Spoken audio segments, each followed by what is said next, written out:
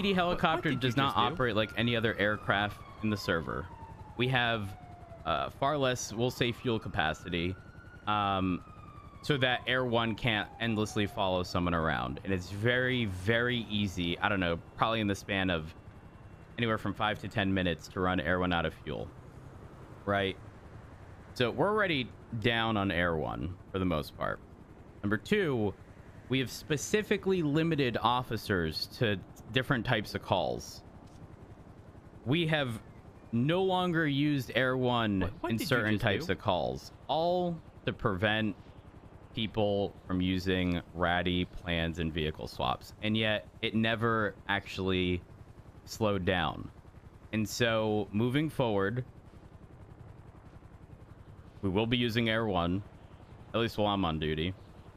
Um, if there is vehicle swaps, I'm immediately calling for those tires to be shot.